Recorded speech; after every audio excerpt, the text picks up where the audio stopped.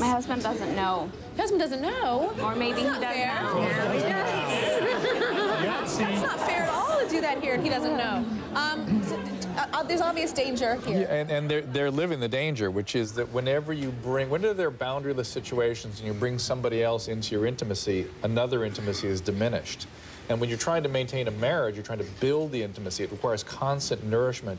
And you know what? What you tend to, what you know, I treat a lot of couples like this, and what they, and when they're in their sort of what is working for them, it's really kind of a sexual addiction where they're using people as objects. You even heard her say, "I think we can take them out. They leave Yeah. out." They're, they're sort of objectifying people. But inevitably, we're humans. and Inevitably, emotions enter into it, and it ends up in all kinds of chaos. Mm. It's, it's, I've never seen a relationship survive healthily in that kind of a situation. So they usually end up needing help. And it, it can go on for a long time before the house of cards falls, just like something can go on for a long time using Yeah. drugs. Mm. Okay, mm. we'll be right back.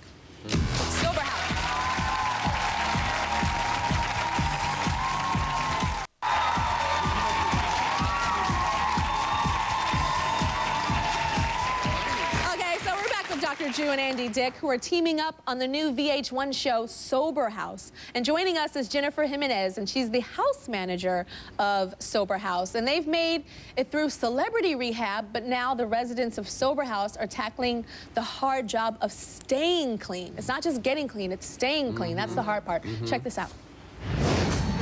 I'm in my hideout. This isn't rehab, this is real life. And what these people have on the line is everything. There's an intermediate stage that recovering addicts must get through. They do this by moving into what we call a sober house. At Sober House, addicts have one foot in treatment and one foot in the real world. There will be boundaries and rules. we must follow our chores. There's like rules and we'll go through it together. There will be chores for them to do. They'll be required to get a job. I can offer you $10 an hour. They will have a curfew each night. We're gonna escort you right, to the show. Right, I know, I know the guidelines. There's no sex, no acting out violently with each other, Shut and of course, no drugs or alcohol. You need to not drink and not take drugs, and you need to get your together. Wow. There it is. So, Dr. Drew, one thing that stood out that you were just saying is uh, no sex. Yeah, boundaries. Andy's mentioned a couple times today. That, Listen, uh-huh. if you can't maintain bodily boundaries, you can't contain emotional boundaries, you can't contain impulses. So I created what I called the masturbation station. I was in a, a bunk bed, and the cameras were on all the time. So uh, in a bunk bed, I just put a sheet up, and then in my little tent, I could take care of business. And is that legal to do that? Um, that legal? as long as it, as long as it didn't interfere, as long as you, I don't have one of these on my hoo-hoo. as long as it didn't interfere with his other activities or his ability Got to be. Let's talk engaged. about the let's talk about the ankle bracelet. I would like to see those shadow puppets. in there. Let me let's talk about the, the ankle Oh, bracelet. yeah. This so is an alcohol. how does it work? Monitor. Well, How can it people tell? think that there's like a needle going right into my vein, but no, it's uh, you know, if you drink alcohol, it comes almost immediately out your skin. Oh, they can tell like an that. ounce, a little bit, They like even can't. They, cologne or yeah, deodorant cologne or and hairspray. mouthwash. They have to watch all I couldn't go in the makeup tell. room. It would go off, alert the police, and I would go directly to jail and they would come jail. get you and take I'd you go to jail. And how long do you have to wear that? A year. And then Jennifer, months. And um, this is listen to this one. Jennifer, uh, actually, Jennifer, Jennifer and I were talking during the commercial. We used to model together when I was like 15, 16 years old in Los Angeles. We used to do mm-hmm. fashion shows and stuff.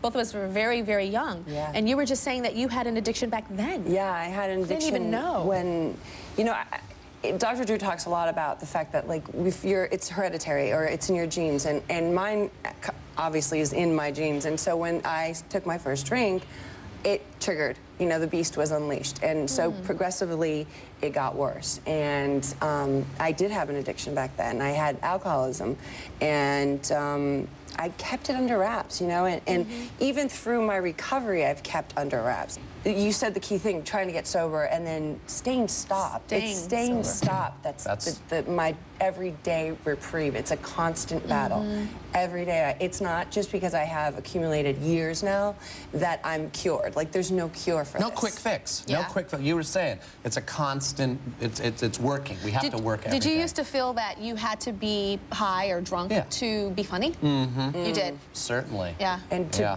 and and and just to be relaxed and Yeah, and for me, obviously, with the pressures of modeling or Hollywood and then turning and going into acting and, Mm-hmm. and all that stuff, like I, I believe that I always had to be something for everybody else. Mm-hmm. And and then when I would get so when I would get better and I was getting in recovery and I'd get sober, I always fix the outside really quick. Like I'd get the job, I'd get skinny, I'd get the man, I'd get the shoes, I'd get the closet, you know, I'd get whatever I wanted. And I was dying on the inside, you know, and I was still putting that mask on. And I was so tired of it. And then I went to treatment and I went for a five day detox and I tried to shut everybody up. And I stayed nine and a half months. Wow. And- is detox like Lady Sings the Blues? Is it really like sweating and in the corner? I always wonder this. I'm not asking you as a No, it joke. really is. It really is? Yeah, is it really like shaking. physical? Like Well, it depends on the drug. Depends Yeah. on the drug. Yeah, it could be profound. I mean, we, it's, Yeah. we, But we are, even alcohol, yeah. even beer. can be like a Could be- well, withdrawal? alcohol It's can be very it's not- dangerous. it's not pretty. Well, We'll be right back. example- oh, sorry, we'll be right back. I'll, we'll get back.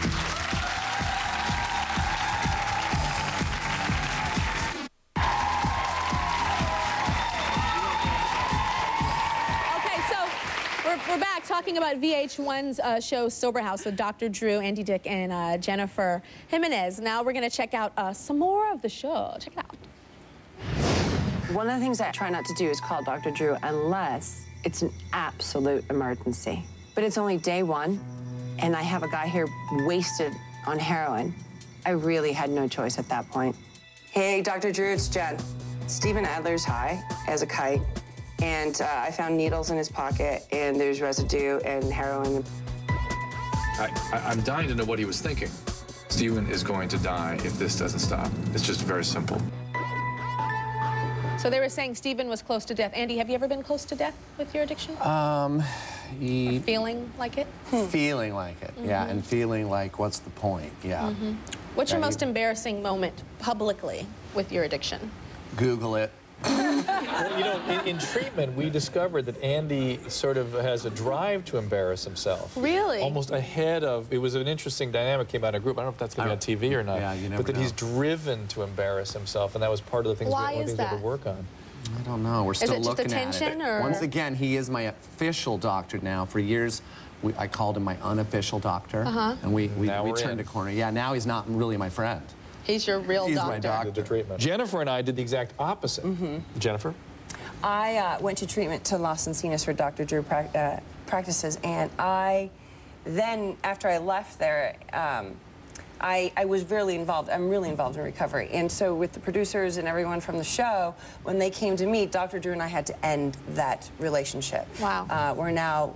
Now we're part- more peer peers. More peers, And if I can jump in And you, you look so much smaller now than you Oh, did look there. Was that I lost like 50, 55 pounds since the show. wow? Incredible. Yeah, um, tough one, you know, because like I said earlier, like I work so hard always my life just to make it all pretty on the outside. Yeah. And finally they were like, are you tired? Because you need to work inside. It's an inside job. And so I did, and then I forgot about the outside, and like I needed protection, and so the fork became my best friend.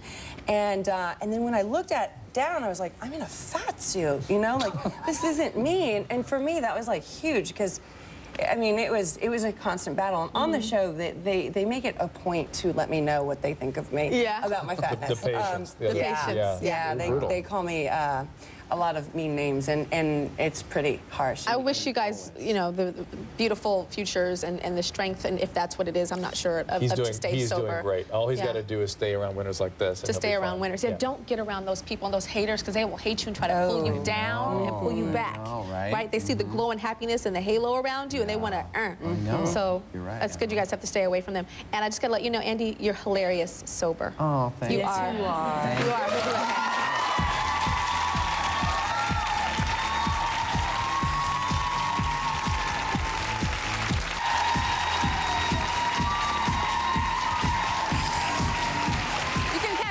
VH1 Celebrity Rehab presents Sober House Thursdays at 10, 9 Central. And you can also check out Dr. Drew's other show, Sex with Mom and Dad, premiering on MTV next month. You Not guys are like, what it sounds I know, you guys are like, Sex with Mom and Dad?